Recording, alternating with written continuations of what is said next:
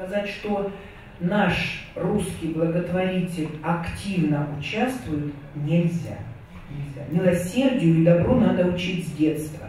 Не все умеют делиться, к сожалению. Поэтому те, кто это умеет, мы всегда приветствуем и помогаем.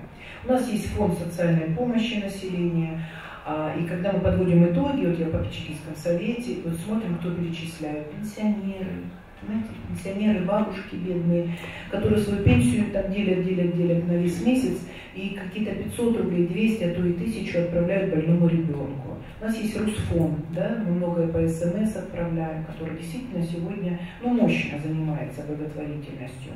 Кстати, вот участие в Русфонде э, в 2017 году почему-то резко снизилось по сравнению с 2016. С чем это связано?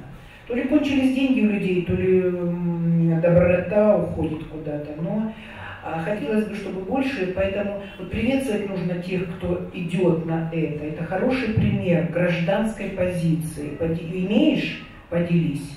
Вот бизнес, мне кажется, должен делиться больше.